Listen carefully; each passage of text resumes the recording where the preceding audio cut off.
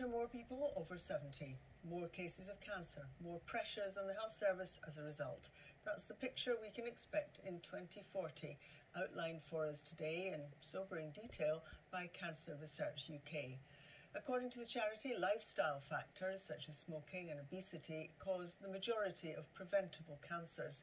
But as people live for longer, they become increasingly vulnerable to diseases like cancer.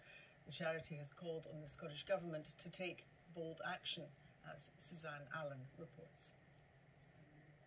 These two men are friends, having met at this Maggie Centre in Lanarkshire. One has finished treatment, the other is living with cancer. Stephen's cancer was diagnosed four years ago and is glad it was then as opposed to now, as services are under enormous pressure. So I'm one of the lucky ones that I get treated before the pandemic, but there's definitely a huge impact and a huge pressure on the resources because, as I say, I haven't seen a consultant in three years. We're living longer, aren't we?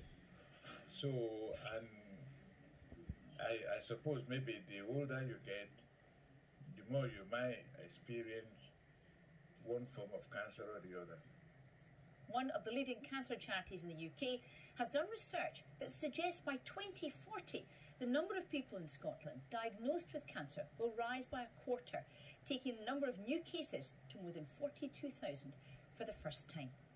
There will be over 19,000 cancer deaths in Scotland each year. That's a rise of 17%.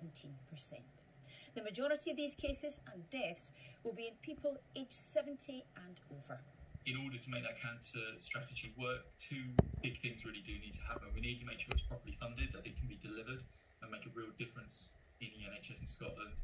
But also, we need to start addressing some of those gaps that we know exist in the NHS workforce. This academic is warning that it's not just cancer the government has to plan for. An ageing population also has increases in other conditions as well, so we will be seeing increasing pressure on the NHS as we move forward towards the 2040 figures that Cancer Research UK were projecting to.